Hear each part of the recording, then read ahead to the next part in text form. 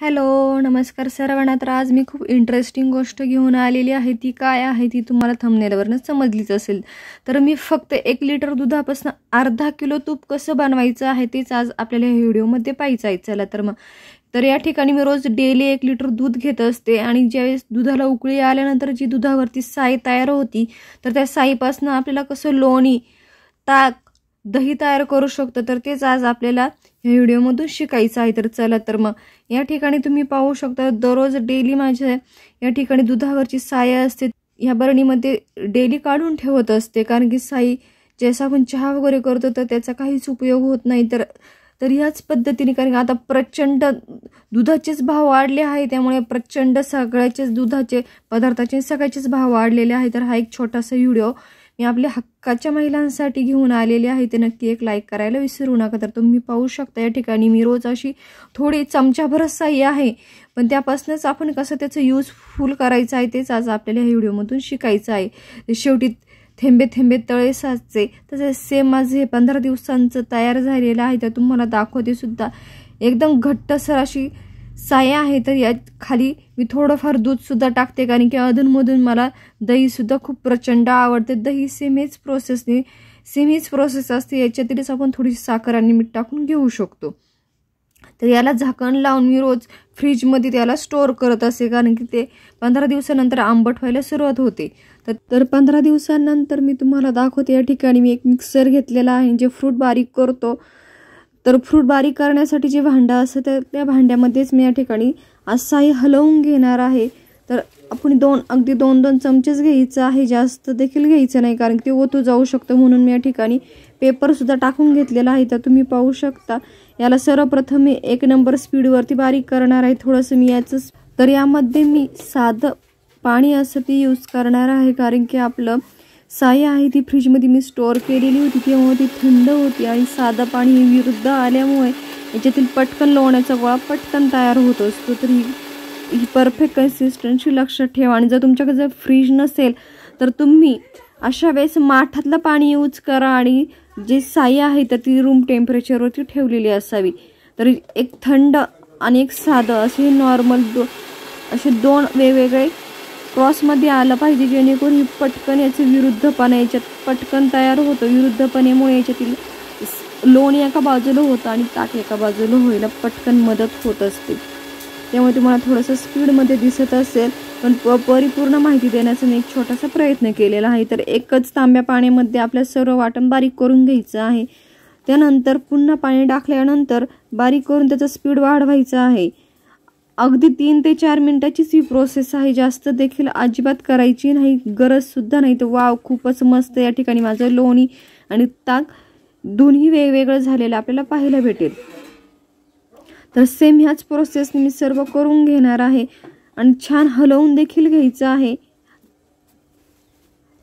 त्यानंतर मी पुन्हा एकदा टाकून घेत आहे आणि सेम ह्याच प्रोसेसने मी सर्व माझं साई साठवली होती तर सेम ह्याच प्रोसेसने मी छान बारीक करून घेणार आहे. तर त्यानंतर थोडंसं ते दही उरलं होतं ते दह्याचं सुद्धा मी तुम्हाला दाखवते सुद्धा झूम करून सुद्धा दाखवते.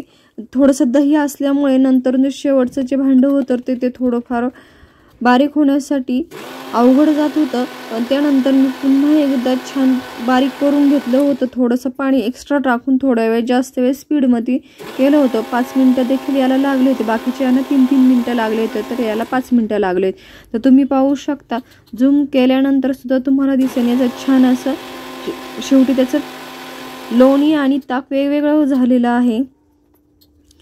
आणि हाताच्या साह्याने छान क्लीन करून चमचा आहे तर वाव खूपच मस्त या ठिकाणी लोणी आणि ताक वेगवेगळं झालेलं आहे. परफेक्ट हे अर्धा किलोचं तयार झालेलं आहे आणि जे राहिलेलं आहे मिक्सरच्या भांड्याला ते छान हाताच्या साह्याने छान क्लीन करत आहे.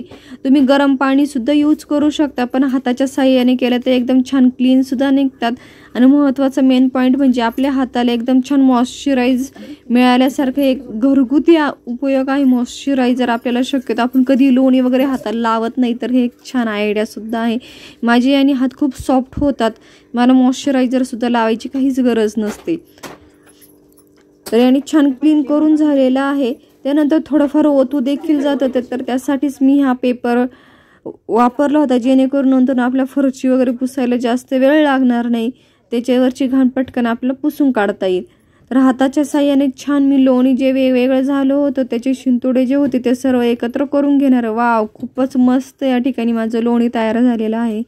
तर हे लोणी मी जे मागाशी आपण साईज साठवण्यासाठी जे घेतलं होतं त्या बाऊल त्या बाऊलमध्येच आपल्याला हे ओतून घ्यायचं आणि पातेलं छान फिरवून फिरवून घ्यायचं आहे. जेणेकरून ते जे काही ताक आहे सोक केलं तर ते ताक पूर्णपणे बाहेर निघून येतं. मी एक ते दोन वेळेस याला छान फिरवून घेतलं होतं जेणेकरून हे आपल्या थोड्या कडवायला कढवायला आपण गॅसवरती ठेवणार आहोत. कढवणे म्हणजे जे मेल्ट करायला जे सुरुवात करणार आहे.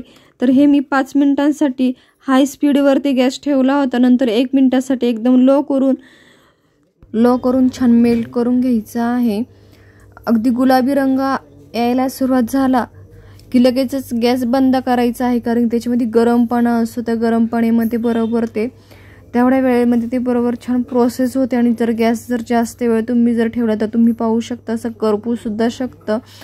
तसं सो सॉरी तर माझ्याकडनं तर इथं व्हिडिओ माझ्या लक्षात आला नाही की ती ऑन आहे की ऑफ आहे. ते पण नंतर लेट कढवून झाल्यानंतर लक्षात आलं तर मी फक्त तुम्हाला मी तूप दाखवत आहे. तर सेम हीच प्रोसेस आहे. तर तुम्हाला मी दाखवते सुद्धा माझ्याकडे हा एक छोटा श्रीखंडाचा डब्बा आहे.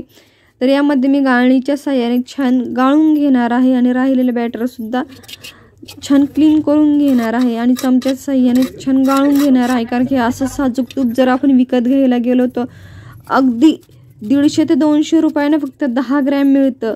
तर हा व्हिडिओ कसा वाटला कमेंट्स करून सांगायला विसरू नका. आवडला असेल तर नक्की एक लाईक करा. तसेच आपल्याला एक लिटर दुधापासून अजून खूप सारे वेगवेगळे पदार्थ बनवायचे आहेत. ते लगेच आपल्या चॅनलला मी एक हाऊस वाईफ हक्का चॅनल लगेच सबस्क्राईब करून ठेवा. जेणेकरून सर्वात अगोदर नोटिफिकेशन तुमच्यापर्यंत भेटेल.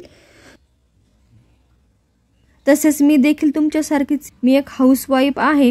तर घरगुती पद्धतीने आपण कसं हँडल करू शकतो किंवा छोटे छोटे नॉलेज मला तुमच्यापर्यंत जे काही माझ्याकडं आहे ते तुमच्यापर्यंत पोहोचवण्याचा एक छोटासा प्रयत्न आहे. तर चला तर मग भेटूया अशाच नवीन इंटरेस्टिंग आणि युनिक व्लॉगमध्ये तोपर्यंत बाय बाय